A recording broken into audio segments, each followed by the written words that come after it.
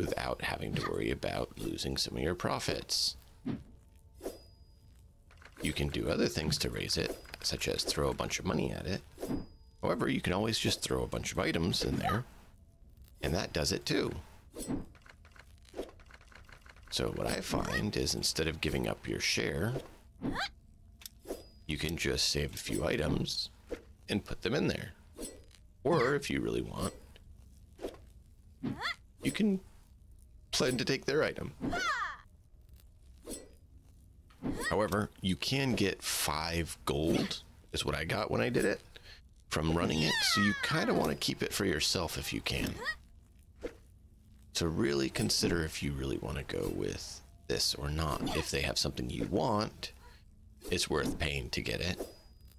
Otherwise, don't and just throw yours on that you're going to keep. And so you're just going to keep them and use them every time unless you don't win.